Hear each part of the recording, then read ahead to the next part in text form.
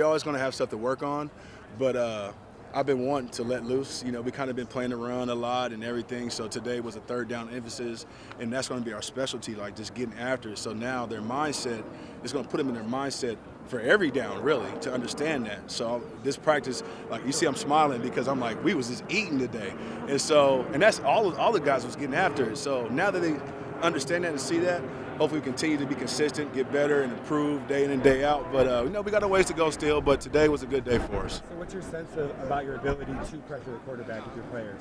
Yeah, you know we're gonna have different packages and stuff like that. So you know on third downs we're gonna get our best guys, best pass rusher guys out there, and we had that today. You know what I'm saying? So we had two groups go out there, and you know just kind of playing with guys, but you know like move BJ Green inside to a three and stuff like that, and uh, they was just eating.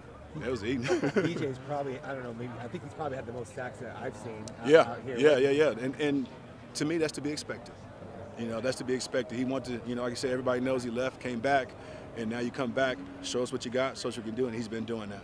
And he's it seems like he's like maybe leaner to play end or I don't know, but, he's just very he's looking very. He's looking good to where he can play anywhere on the field, anywhere up front. He can play at any position. What do you like about him?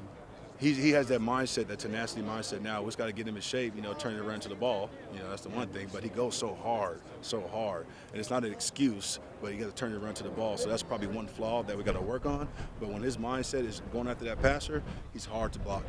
What, when you, did you talk to all these guys when they originally went in the portal and, you know, say, hey, this is our plan, give me a chance, and can kind of talk about, you know, trying to develop that rapport and that trust with them? So when they went in the portal, we, it's like we didn't stop really recruiting them. You know, like come back. This, this is your home, so you can go, but you're always welcome back.